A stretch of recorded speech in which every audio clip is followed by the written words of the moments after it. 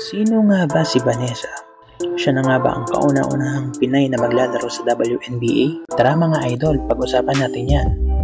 Pero bago ang lahat, please like the video bilang suporta at huwag kalimutan din mag-subscribe para lagi kang updated sa mga sports.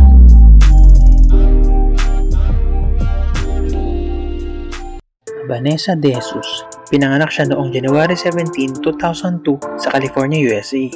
Nung nasa high school pa lang siya, bigating eskwelahan na ang kanyang pinasukan. Ito ang Sierra Canyon. Yes, mga idol, Sierra Canyon. School ni Syra Weed at Bronny James. Nag-average siya ng 15 points, 5 rebounds, 3.8 assists at 2 steals. Nung siya ay nasa senior Sierra Canyon, ito ang kanyang ranking. Number 37 sa ESPN Women's, number 61 All-Star Girls Report, number 65 Blue Star Report, at number 105 Prospect Nation. Siya ay nag-commit sa Duke Blue Devils sa edad na 18 years old. Nag-average ito ng 12 points, 3.8 assists.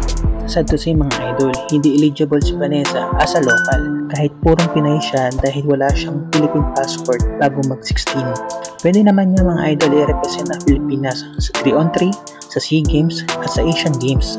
Tara mga idol, panoorin natin ang mga galawan ng ating kababayan.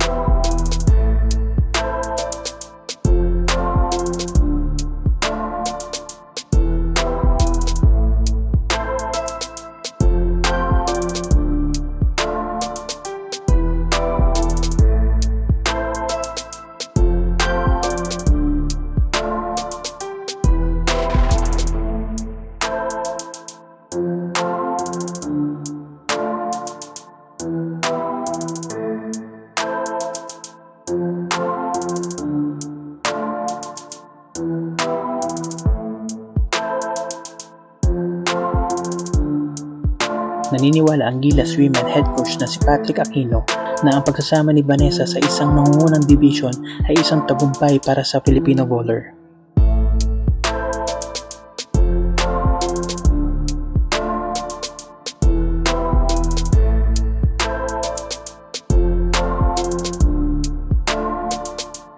Anong masasabi niyo kay Vanessa mga idol?